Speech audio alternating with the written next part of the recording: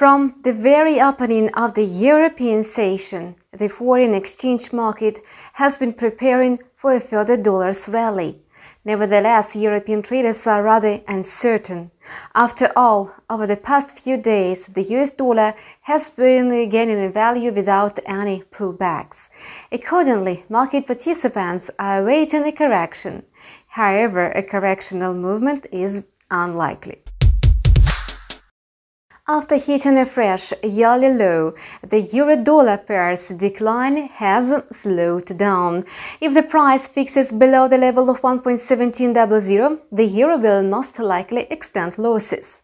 Currently, the quote is trading sluggishly just below the key level of 1.17. Short interests still persist in the market. However, the volume of short positions will become even greater in case the price fixes below 1.1680 on the daily chart.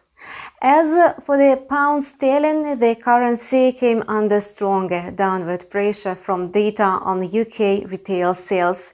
British retail sales unexpectedly fell by 2.5% in July, while economists predicted a 0.4% month-on-month increase.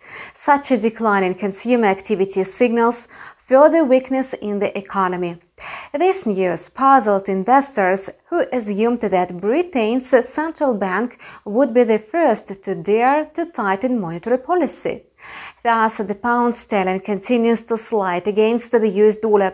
The currency has lost more than 250 pips since the beginning of the week. Such a steep downward movement led to an almost complete recovery of the downward movement from the upward cycle posted between July 21 and July 30.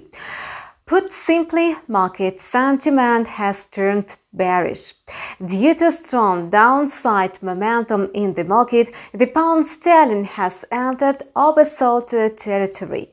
However, this may lead to a slowdown and then a technical pullback.